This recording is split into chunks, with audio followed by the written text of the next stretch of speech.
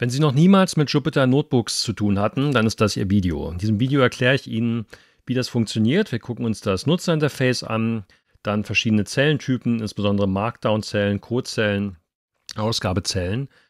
Ein bisschen zeige ich Ihnen was zum Thema Datenvisualisierung. Das ist einer der Gründe, warum Jupyter Notebooks so populär geworden sind. Und dann ganz am Schluss noch ein bisschen was zum Program State, zum, zum Status, zum Zustand eines Programms. Das ist ein bisschen irreführend, wenn Sie aus der normalen Programmierung, sage ich mal, kommen. Normalerweise entwickelt man Programme ja in Entwicklungsumgebungen und das ist doch ein bisschen anders im Jupyter Notebook. Da muss man ein bisschen umlernen, so wie das hier funktioniert. Ich gehe davon aus, dass Sie Jupyter bereits erfolgreich installiert haben. Ich kann auch noch einen Link dazu posten unter dem Video. Das geht mit pip, dem Python Paketmanager, relativ einfach. Und ich gehe davon aus, dass Sie den Jupyter Variable Inspector installiert haben. Das ist ein kleines hilfreiches Tool, das werden wir gleich noch sehen, wenn wir den äh, Program State angucken, warum das wichtig ist. Mein Name ist Jens Dittrich, ich bin von der Universität des Saarlandes und dieses Notebook können Sie runterladen von unserer GitHub-Seite. Also, legen wir mal los. Was ist denn Jupyter? Jupyter ist eine tolle Mischung aus Markdown und Code. Die wesentliche Idee ist, so ein Notebook, das ist eine Sequenz von Zellen. Und eine Zelle kann jetzt einen bestimmten Typ haben, entweder Code oder Markdown. Es gibt noch andere, aber die gucken wir nicht an. Wir gucken nur Code- und Markdown-Zellen an. Markdown-Zellen sehen so aus. Die, das hier sind Beispiele für Markdown-Zellen. Das hier sind alles Markdown-Zellen. Sie sehen schon, das ist hier formatierter Text. Hier sehen Sie, das ist fett gedruckt. Und wenn ich jetzt einen Doppelklick hier drauf mache, sehen Sie, das ist der Source Code, der Text, das eigentliche Markdown, was hier geschrieben wurde. Wenn ich das jetzt rendern will, also in eine grafische Darstellung, formatieren will, dann drücke ich einfach Shift Return und dann wird dieser Text, der dieser Zelle zugrunde liegt, gerendert als Markdown und grafisch dargestellt. Ne? Hier genauso bei dieser Überschrift. Hier habe ich die Konvention mit den, äh, den Hash-Symbolen benutzt. Das ist eine Überschrift äh, der Stufe 4. Shift Return und das wird grafisch gerendert. Hier sehen Sie eine Codezelle, das erkennt man schon daran. Hier steht äh, dieses in und dann eckige Klammern. Hier steht jetzt Python-Code, eine Zeile Python-Code, ein einfaches Print-Statement. Und das kann ich genauso ausführen wie jede andere Zelle, indem ich Shift-Return drücke. Und dann wird die Ausgabe hier direkt hinter der Zelle angefügt. Warum 42? Also ich, was passiert, wenn ich hier noch andere Werte hinschreiben will? Ich könnte ja auch schreiben zweimal i noch davor. Da wird trotzdem 42 ausgegeben. Also Sie sehen, was hier passiert ist, hier wird immer nur der letzte Ausdruck als Ausgabe interpretiert. Ja, das heißt, wenn Sie hier irgendwas ausgeben wollen, wenn Sie zusätzlich ausgeben wollen, was zweimal I ist, dann müssen Sie da ein Print hinschreiben und dann kriegen Sie das hier oben angezeigt als äh, normale Print-Ausgabe, aber der Rückgabewert hier ist dreimal I. Okay? Das ist eine Konvention in Jupyter. Und hier hier ist nochmal ein anderes Beispiel, eine einfache Zuweisung. x ist gleich 42. Dann habe ich hier den Ausdruck x mal 2 hingeschrieben. Das hat jetzt aber keinen Effekt an der Stelle. Ich mache es mal x, äh, x mal 3 schreibe ich mal, um nochmal einen Unterschied zu zeigen. Wenn ich das ausführe, dann kriege ich als Ausgabe 168. Wo kommt die her? Die kommt hier von diesem Print-Statement. x mal 4. Und dann steht in der letzten Zeile x mal 2 und das ist natürlich 84 und das x mal 2, das wird hier als Ausgabe genommen.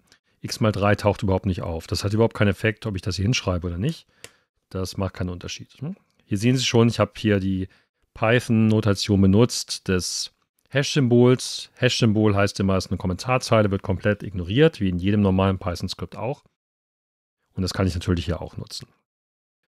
Das sind Codezellen, das sind Markdown-Zellen. Ich kann ja die Ausgabe auch noch kleinklicken, einmal Doppelklick. Dann habe ich die Ausgabe hier verkürzt dargestellt. Das ist manchmal sinnvoll, um eine bessere Übersicht zu haben im Notebook. Was auch geht, ist LaTeX-Notation. Eine Teilmenge von LaTeX ist erlaubt. Das kann ich machen, indem ich so einer Markdown-Zelle einfach zwei Dollar-Symbole hinschreibe, dann den LaTeX-Code und dann wieder zwei Dollar-Symbole zum Schließen, Shift Return und dann habe ich hier mein Summenzeichen dargestellt innerhalb der Webseite. Ich kann natürlich auch Bilder einbetten. Wenn Sie einen Doppelklick drauf machen, sehen Sie, aha, das sieht folgendermaßen aus. Das HTML-Syntax. Die Frage ist, wie kriege ich so ein Bild in die Webseite überhaupt rein? Machen wir das mal kurz. Also ich mache jetzt eine neue Zelle, brauche ich jetzt hier an dieser Stelle. Wie mache ich das? Ich drücke einmal hier auf dieses Plus-Symbol. Das erzeugt eine neue Zelle unterhalb der markierten Zelle. Jetzt habe ich eine neue Codezelle, sehen Sie schon. Wir hatten bereits oben gesagt, man kann den Zelltyp ändern.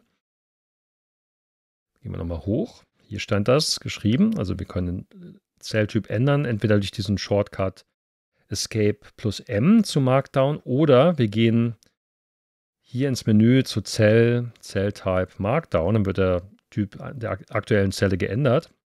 Das mache ich jetzt mal. Ich klicke hier, Zell, Cell-Type Markdown, dieses In verschwindet. Und jetzt kann ich hier einfach ein Bild reinziehen. Ich gehe mal hier zur Seite, nehme irgendein Bild, ziehe zieh das hier rein. Es muss genau diese Box treffen, dann wird das hier so gestrichelt markiert. Lasse los.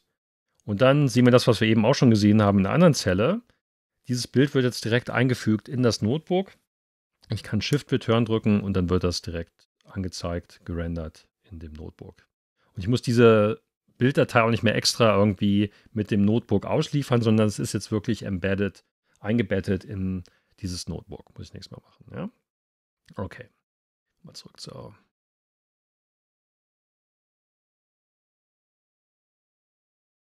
Ja, dann noch ein bisschen was zur Datenvisualisierung. Das ist eigentlich eines der stärksten Features von Notebooks, insbesondere im Bereich Data Science. Immer wenn man irgendwas visualisieren will an Daten, also ohne jetzt im Detail darauf einzugehen, was der Code hier macht. Ich möchte nur mal kurz einen Ausblick darauf geben, wie einfach das ist. Also es gibt verschiedene Bibliotheken, die Sie importieren können. Die bekannteste ist äh, Matplotlib. Wenn ich das jetzt mal ausführe, hier sehen Sie, hier wird ein einfacher Barplot dargestellt. Also hier habe ich die Prozentzahl, dann habe ich hier Leute, die Python mögen und Leute, die keinen Geschmack haben. Einfach mal um irgendwelche wilden Daten zu nehmen. Ja, das ist eine ganz einfache Visualisierung. Eine wunderschöne Bibliothek, um zu visualisieren, die ich Ihnen persönlich sehr ans Herz legen kann, ist aber Altair. Mit, diese Bibliothek hat den Vorteil, dass man mit relativ kurzer Syntax sehr komplexe Visualisierungen erzeugen kann. Ich führe das mal aus. Ich gehe gar nicht im Detail darauf ein, hier, was hier gemacht wird. Also hier geht es um einen Datensatz. Also diese Bibliothek, die bietet ein paar vorgegebene Datensätze an und die lade ich mit diesem Statement. Und dann sage ich einfach, ich mache hier einen Chart. Ich sage, ich will das Ganze mit Kreisen darstellen. Also jeder Punkt in diesem Datensatz wird als Kreis dargestellt. Wie das im Detail funktioniert, will ich hier gar nicht erklären. Nur mal um Ihnen Ausblick zu geben, wie einfach es ist, in Jupyter Notebooks Daten zu visualisieren. Also die Funktion, wenn Sie mit der Maus über einen Punkt gehen, kriegen Sie sofort den Punkt angezeigt, die Daten, die da drunter liegen unter dem Punkt. Also wunderschön gemacht. Also Sie können ja auch reinzoomen in, in so einen Graphen, können durch die Gegend ziehen. Sie können das Ding exportieren als PNG, das ist etwas gerastert, oder als SVG, was ich Ihnen empfehle. Das ist eine Vektorgrafik, das können Sie dann auch leicht für eine Bachelor- oder Masterarbeit verwenden. Also großartig gemacht, ganz toll. Und das ist ein Thema für sich, können Sie auf der Altair-Webseite gucken. Großartige Bibliothek. Hier nochmal ein anderes Beispiel. Also Sie sehen, wie kurz hier die Definition ist des Graphen und was da rauskommt, ist, also was wir im Datensatz haben, sind hier drei Attribute oder Dimensionen nennt man die auch. Einmal die Pferdestärke, dann die Beschleunigung und dann die und dann die Meilen pro Gallone. was Sie hier haben wollen, ist natürlich alle möglichen Kombinationen über diese Dimensionen. Also sind, wir suchen alle Teilmengen der Größe 2 über die Menge der Größe 3. Und dann sehen Sie hier, kriegen Sie hier den Aufriss Horsepower Miles per Gallon, Horsepower Acceleration, Horsepower, Horsepower macht wenig Sinn, das ist klar, da muss eine Linie rauskommen. Also alles, was hier in der Mitte ist, ist eine Linie und so weiter und so fort. Acceleration, Miles per Gallon und so weiter. Und das Ganze ist natürlich spiegelsymmetrisch über diese Achse. Das heißt, das hier ist der gleiche Graph wie hier, nur gespiegelt über die Achse und hier genauso. Aber letztendlich wollen Sie diese verschiedenen Aufrisse bekommen. Und was Sie hier schon geschenkt kriegen mit Altair ist, Sie können an einem ziehen und alle anderen werden in der Ansicht auch entsprechend verändert. Also sie sind schon alle synchronisiert, dadurch, dass Sie sie zusammen erzeugt haben und durch dieses Statement Interactive. Also, diese Visualisierung ist ein Thema für sich. Das Ganze ist nur mal ein Ausblick darauf, wie genial das eigentlich ist mit Jupyter Notebooks, gerade wenn es darum geht, Daten zu visualisieren. Noch ein bisschen was zum Thema Programmzustand. Ich hatte es schon angedeutet. Also wir haben hier eine einfache Zuweisung. y gleich 12. Ja, was heißt das jetzt? y hat den Wert 12 bekommen. Was war mit x? x hat den Wert 42. Warum hat ja x den Wert 42? Na, wir haben den Wert x oben schon mal benutzt und zugewiesen. Wenn wir hochscrollen, sehen wir hier, hier haben wir schon x zugewiesen. x hat den Wert 42 und das Notebook hat das nicht vergessen. Also das Notebook akkumuliert über die verschiedenen Ausführungen von Zellen die verschiedenen Zustände. Es ist nicht so, dass ich hier, wenn ich eine Zelle ausführe, dann der Zustand vergessen wird, sondern er wird akkumuliert. Und das macht es manchmal etwas verwirrend, insbesondere weil diese Zellen in beliebigen Reihenfolgen ausgeführt werden können. Also wir machen das mal als Beispiel, was hier passieren kann. Sie könnten jetzt ja sagen, x ist x mal 2 als Beispiel. Ja, ich habe jetzt keine Ausgabe gemacht, ich habe nur die Zuweisung gemacht, also schreibe ich hier nochmal x hin. Jetzt ist x auf einmal 168. Je öfter ich das ausführe, kommt immer ein anderer Wert raus, x wird hochgezählt. Ja, und typischerweise arbeitet man jetzt so mit den Notebooks, dass man natürlich, mal geht man auf eine Zelle oben, dann auf eine Zelle unten. Dieses Notebook wird nicht unbedingt strikt von oben nach unten ausgeführt. Sie können das selber entscheiden als Entwickler, welche Zelle Sie als nächstes ausführen. Und gerade das führt zu Verwirrung. Wenn ich jetzt also hier zum Beispiel hochgehe, hier hatten wir schon mal eine andere Zelle und die sah ja ursprünglich so aus. Wenn ich hier x zuweise, ist alles gut, kein Problem, denn ich habe ja x neu zugewiesen. Aber stellen Sie sich vor, die Zelle sieht so aus. Sie haben x nicht neu zugewiesen. Was immer der Wert von x ist, der wird jetzt hier weiter benutzt. Ja? Also was immer x ist, wird jetzt hier benutzt.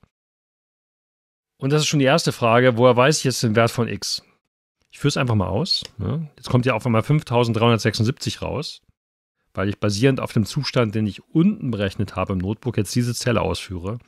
Und das ist die größte Fehlerquelle in Notebooks, dass sie irgendeinen komischen Zustand haben, und dann ein unerwartetes Ergebnis bekommen. Da gibt es jetzt zwei Sachen, die dabei helfen. Das erste ist, ist diesen Variable Inspector. Den habe ich hier, kann ich einschalten und dann kriege ich eine Übersicht meines aktuellen Zustandes. Also hier sind die Variablen und der aktuelle Zustand. Und hier kann ich jetzt sehen, oh, x ist gleich 1344. Da hatte ich doch eben was anderes, vielleicht liegt es daran. Irgendwas ist da schiefgegangen. Also das gibt mir eine Möglichkeit zu inspizieren, was für einen Zustand habe ich denn gerade akkumuliert in meinem Notebook und das kann sehr hilfreich sein. Das ist eine Möglichkeit zu verstehen, was im Notebook passiert. Was Sie beim Zweifel auch immer machen können, und das empfehle ich dringend, ist, wenn Sie einen Fehler haben in Ihrem Notebook, das Erste, was Sie tun, ist, den Kernel neu zu starten. Kernel ist praktisch die drunterliegende, der Kernel ist die Instanz, die vom Jupyter-Server benutzt wird, um hier Python auszuführen. Und diese Instanz akkumuliert den Programmzustand. Das heißt, was wir jetzt machen, ist, wir machen Restart and Clear Output. So, was passiert jetzt? Ich werde einmal gefragt, will ich das wirklich machen? Weil alle Variablen werden jetzt ähm, weggeschmissen. Ich mache Restart. Und jetzt sehen Sie im Variable Inspector, alle Variablen sind weg. Hier ist nichts mehr an Zustand vorhanden. Und Sie sehen auch, dass bei all diesen Codezellen nichts mehr hier steht, was signalisiert, das wurde von diesem Kernel noch nie ausgeführt. Der Kernel hat diese Codezellen noch nie ausgeführt. Also ich habe jetzt einen frischen Zustand, wie ich, wie ich ihn auch bei einer Programmausführung in einer Entwicklungsumgebung hätte. Und das heißt, ich kann jetzt sequenziell wieder durchgehen. Ne? Hier, das hat keinen Effekt auf den Zustand. Aber wenn ich das jetzt zum Beispiel mache, dann weiß ich, das ist wieder ein sauberer Zustand. Tja, was passiert hier? Hier muss es natürlich eine Fehlermeldung geben weil x hier jetzt nicht definiert wurde. Ne? Eben hat das nur funktioniert, weil x schon definiert war. Und ganz am Anfang meines Videos hatte ich ja gezeigt, ich weise x gleich 42 zu und dann funktioniert das. Aber wenn ich x niemals zugewiesen habe, dann existiert der Wert nicht. Also machen wir es mal so. Und dann sehen Sie, x ist hier wieder mit 42 initialisiert und es funktioniert.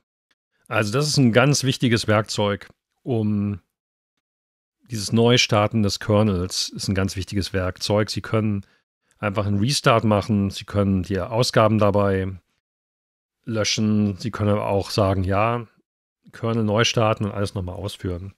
Äh, wunderbar. Wo wir gerade dabei sind, man kann auch einen anderen Kernel benutzen. Also ich habe jetzt für die Codezellen Python in der Version 3. Das sieht man auch hier oben. Ja, das ist ein Kernel basierend auf Python 3. Wir haben aber auch in unserer Gruppe Notebooks, die auf SQL basieren. Also Sie können hier auch zum Beispiel SQL reinschreiben, Sie können da C reinschreiben, alles Mögliche, je nachdem. Sie können sich für eine Programmiersprache entscheiden. Und dann werden die Zellen anders interpretiert mit, einer, mit einem anderen Interpreter. Dafür braucht man typischerweise einen anderen Kernel. Aber im Moment machen wir nur Python. Ja, vielleicht noch kurz hier zu dem User Interface. Das ist selbsterklärend. Viel, man braucht auch nur relativ wenige dieser Features, also es, wie Sie es von anderen Applikationen auch kennen. Zum Entwickeln, wie gesagt, ist das hier sehr wichtig. Das hier hatten wir schon. Hier können Sie den Zellentyp umschalten, was wichtig ist. Sie können aber auch sagen, dass Sie bestimmte Zellen ausführen wollen. Ähm, entweder alle oder alle über meiner aktuellen Zelle oder alle drunter und so weiter und so fort. Also das ist relativ selbsterklärend. Ne? Das hatten wir auch schon. Das fügt eine Zelle hinzu, das löscht die aktuelle Zelle und so weiter und so fort. Das ist relativ selbsterklärend. Hier können Sie auch umschalten, den Zellentyp, wenn Sie wollen. Das ist eine weitere Möglichkeit. Also hier könnte ich jetzt sagen, nö, ich will Markdown ne? oder ich will Code und so weiter. Ja, soviel zum Thema Programmzustand. Also das ist das Wichtigste, was Sie da beherzigen müssen. Immer wenn Sie einen Fehler haben in Ihrem Notebook, erstmal Kernel neu starten, alles von vorne ausführen, dann ist meistens der Fehler schon weg. Noch ganz kurz zu den sogenannten Magic Commands. Man kann, indem man in einer Codezelle mit diesem Prozentzeichen anfängt, kann man bestimmte Befehle hier benutzen. Also ich kann zum Beispiel hier Shell-Kommandos benutzen. Wenn ich jetzt hier .ls mache, dann kriege ich zum Beispiel den Inhalt meines aktuellen Verzeichnisses angezeigt, in dem der Jupyter-Server gestartet wurde. Und es gibt ja auch eine Schnellübersicht mit Befehlen, die dann hochgeht. Ähm, hier kann ich mir eine Liste der gültigen Befehle angucken. Ja, hier kriege ich es wieder runter und so weiter und so fort. Das ist ein langes Thema. Gucken Sie mal hier auf die Links. Ich benutze die selber eigentlich nicht, diese Magic Commands, aber das ist Geschmackssache. Also mehr als das, was ich Ihnen in diesem Video gezeigt habe zu Jupyter Notebooks von der Bedienbarkeit brauchen Sie eigentlich nicht. Deswegen machen wir jetzt im nächsten Video direkt weiter mit den Grundlagen von Python.